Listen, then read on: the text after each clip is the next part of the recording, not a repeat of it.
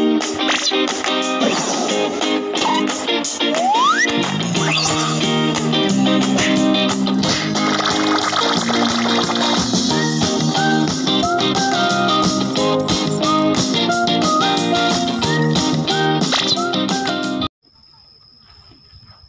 สดีครับยินดีต้อนรับเข้าสู่ช่องน้องใหม่แฟมิลี่นะครับวันนี้อยู่กับคุณยายกัญญานะครับ ผมที่ไม่สบายนะครับเป็นลำไส้อักเสบนะครับผม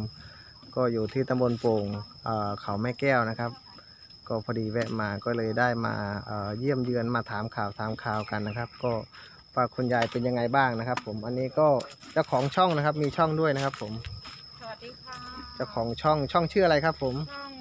ยายกัญญาดาวเรืองค่ะยายกัญญาดาวเรืองนะครับ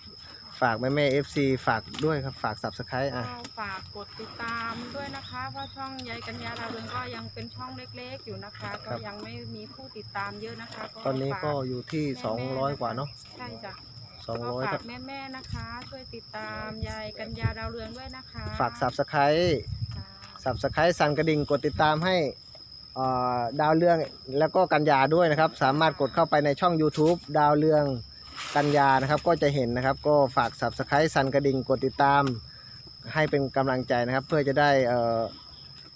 ช่วยเหลือคุณยายไปอีกทางหนึ่งเนาะให้เอ่อได้มียอด sub ตอนนี้ยอด sub ของพี่เขาก็อยู่ประมาณสักสองร้อยสองร้อยสองร้อยแปดสิบประมาณครับเนี้ยยังไม่ถึง 300 sub เลยครับแม่แม่ๆครับ ก็ฝากแม่แม่ FC ผู้ใหญ่ใจดีทุกๆ ท่านเนาะ subscribe ให้ด้วยครับผม ครับ ขอบคุณค่ะครับผมนี่ก็คุณยายกัญญาครับอยู่ข้างหลังเราครับ ผมก็อาการก็ทรงตัวนะครับ ไม่กินอาหารอะไรก็ไม่ค่อยได้เยอะเต็มที่เท่าไหร่นะครับ เพราะว่ายังแบบ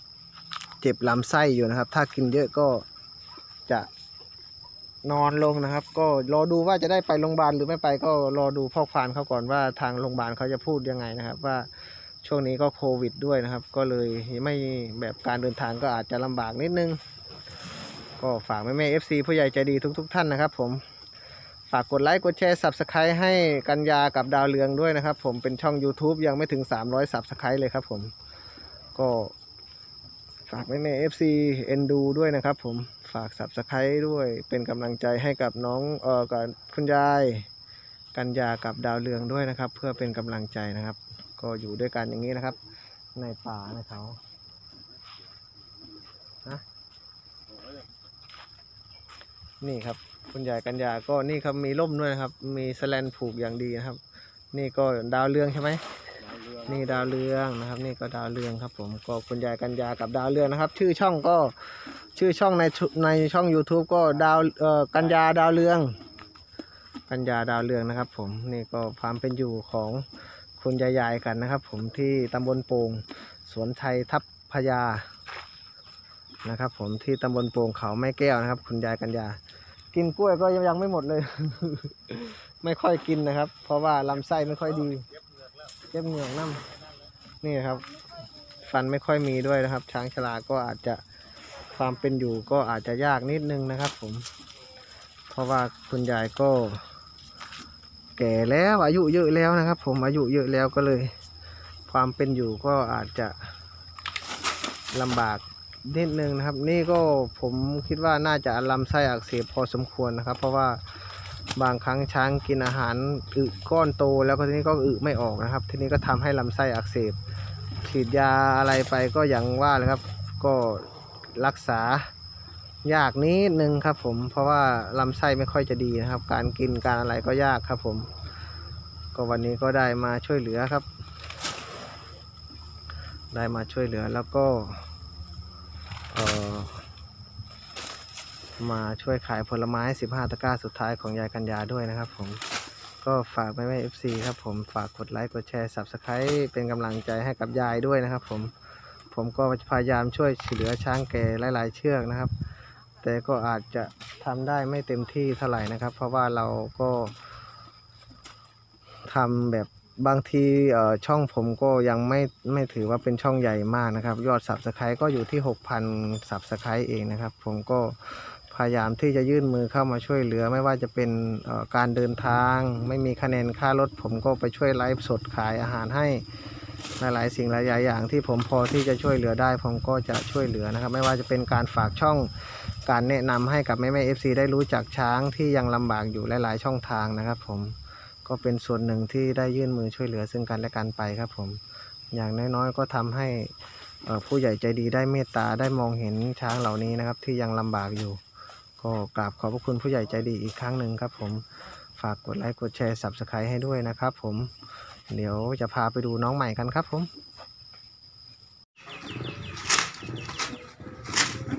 นี่ก็น้องใหม่ครับผม หลังจากที่ไปดูอาการของคุณยายกัญญามาแล้วนะครับ ก็มาถึงก็ค่ำพอสมควร อาบน้ำอาบท่าให้ลูกสาวก่อนครับ ผมอาบน้ำอาบท่าให้ ตอนนี้ก็ค่ำแล้วลูกสาวร้อนแดด กินน้ำกินท่าอาบน้ำแล้วก็กินใบกล้วยครับ ผมก็อาบน้ำให้ กินน้ำเรียบร้อยครับ อ้วนอาบน้ำเสร็จ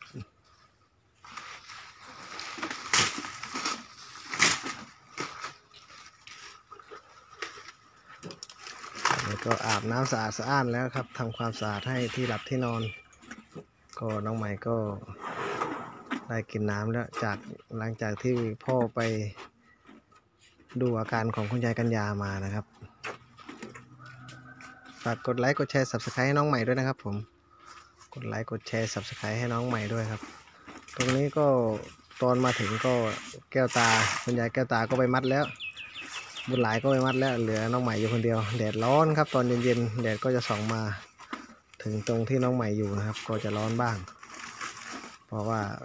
ค่ำแล้วห้าโมงกว่านะครับผมวันนี้ก็อาบน้ำเอาหญ้าให้กินเป็นใบตองนะครับใบกล้วย จะได้เย็นสบายครับผม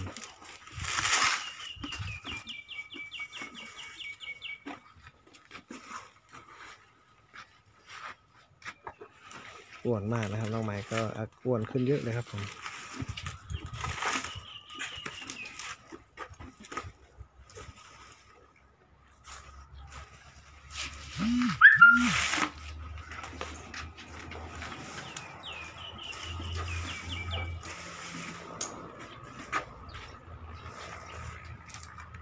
น้องใหม่สวัสดีค่าก่อนลูก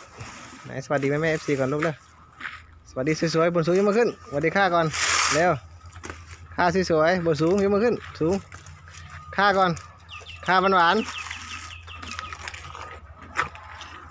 ค่าสวยๆ ค่าหวานๆ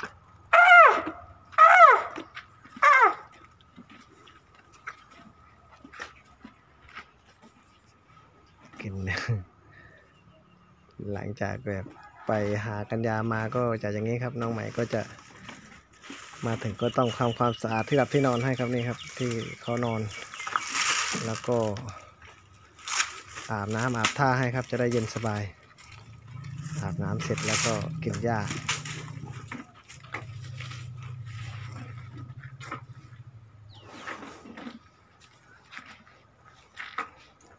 อย่าลืมกดไลค์กดแชร์ subscribe ให้น้องใหม่นะครับผม กดติดตามให้น้องใหม่ด้วยนะครับ ขอบคุณค่าสวยๆก่อน สวัสดีแม่แม่ FC ก่อนเร็วลูกเร็วน้องใหม่สวัสดีค่ะสวยๆหวานๆก่อนเร็วหวานๆก่อน สวัสดีค่ะหวานๆเสียงด้วยค่าวหวานๆเร็วค่าวหวานๆยังไงลูกค่าวหวานๆเสียงด้วยค่ะสวยๆ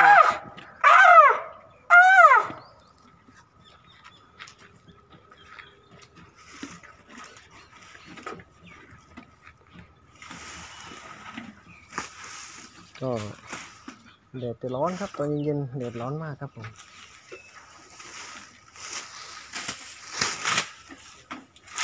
อืม อร่อยไหมลูกอร่อยไหม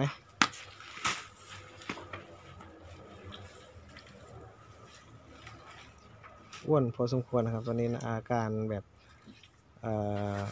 แพ้หรือแบบดูว่าจะมีน้องก็ลองรอดูอีกสักไม่นานเท่าไหร่นะครับ ก็จะรู้ว่าน้องใหม่จะได้ได้น้องหรือเปล่านะครับผมอีกหนึ่งเดือนสองเดือนก็คงจะรู้ครับผม คลิปนี้ก็ขอตัวลาไปก่อนครับคลิปหน้าเจอกันใหม่ครับ สวัสดีครับ